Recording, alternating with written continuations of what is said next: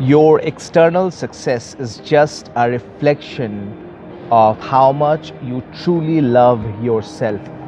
Hey, this is Bishal Sarkar, your mentor, and uh, many times people have this misconception that um, you know external success and all that is going to make me happy and then one day i will be happy and one day i will love myself and have time for myself and that's not true you see um, any any area in your life externally you know maybe it's your having more financial freedom having more social prestige anything that you want in your life you need to first of all love yourself.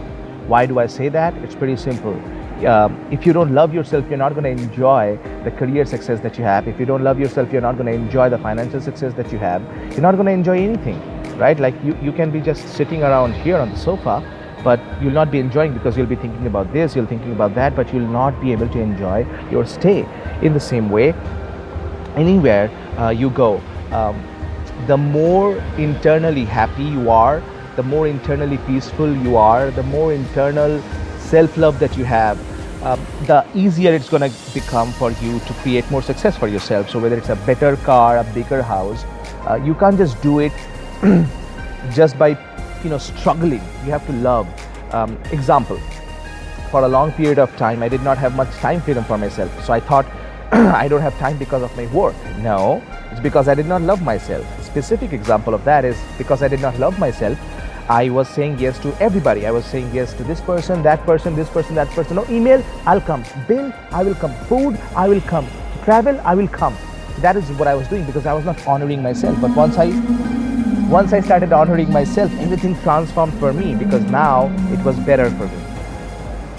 And it became more better, more better, and more better. And now I have the time freedom, the money freedom, the feelings freedom, the relationship freedom, the location freedom.